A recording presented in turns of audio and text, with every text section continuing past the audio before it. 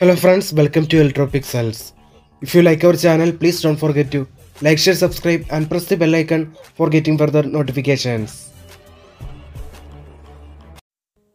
Hi friends, it's a 32 inch Funai LED TV. Here in this TV, the complaint is no display issue along with vertical bars moving around the screen. You can see thick vertical bar and lines moving around the screen. So mainly these types of complaints are due to VGH voltage missing in the gate drive or gate COF here actually this fault is mainly because of VGH voltage missing from the gate COF so here we open the backward of the TV here you can see this is the power supply board and this is the motherboard.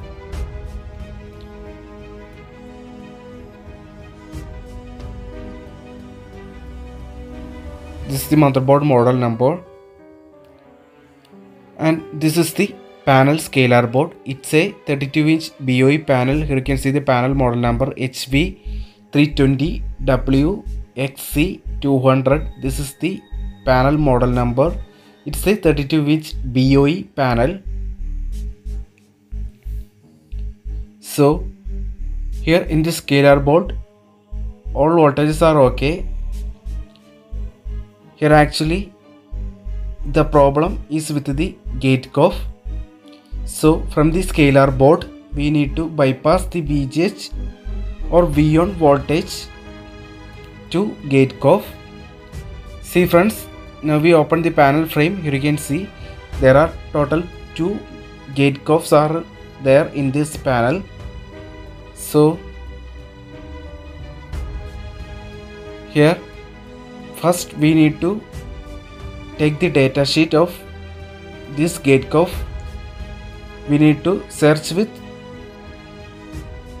model number of this gate COF to get the data sheet.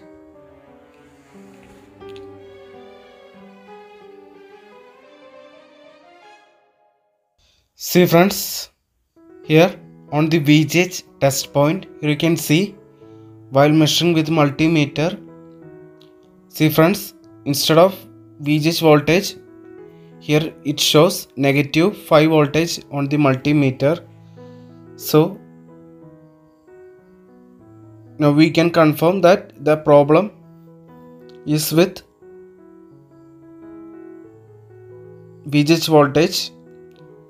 So we need to bypass the VGH voltage from the scalar board to this gate COF VGH test point. See friends here you can see the V on test point. So here we bypassed a jumper wire from the V on test point. Now we need to connect the other end of this jumper wire to the VGH test point on the gate COF See friends, here you can clearly see now we bypassed the VGH voltage to VGH test point of the gate COF. So in this situation, now let us turn on the TV and check the picture to confirm whether the complaint is solved or not. See friends, now the TV is turned on. You can see now the TV logo comes. So this means that now the TV is repaired successfully and the complaint is solved. So now the next step is to arrange this jumper wire properly. For that we need to fix it. Here I used a double side tape for fixing this jumper wire on the panel side. So in this situation now we can put the panel frame back to TV.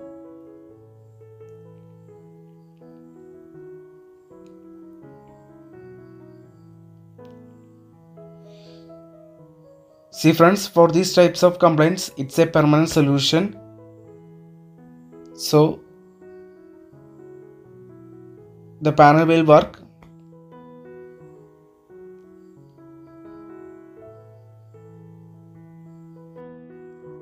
While comparing with other panel repairing methods, this is the only method that we can say that it's a permanent solution.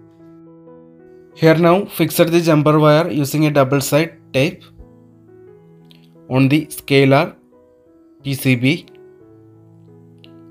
So now all fittings are done.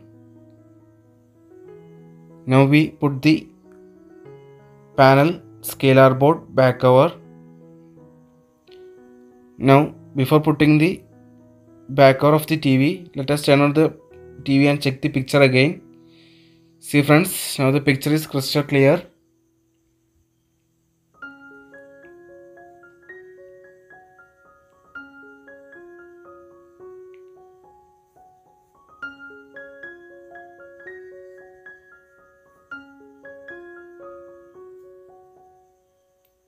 Note that this is a permanent solution.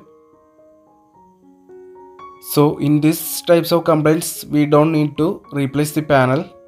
We can repair it by bypassing the missing voltage using a jumper wire from the scalar board to the gate COF. So here you can see the result.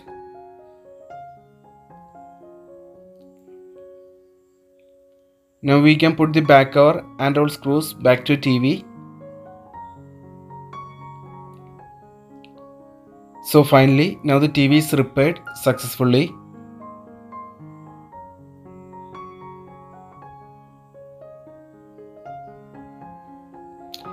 This is the final result.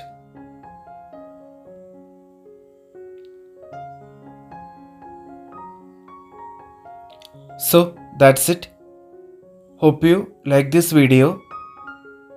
See you in another video with another interesting topics. If you like our channel, please don't forget to like, share, subscribe and press the bell icon for getting further notifications. Thank you for watching.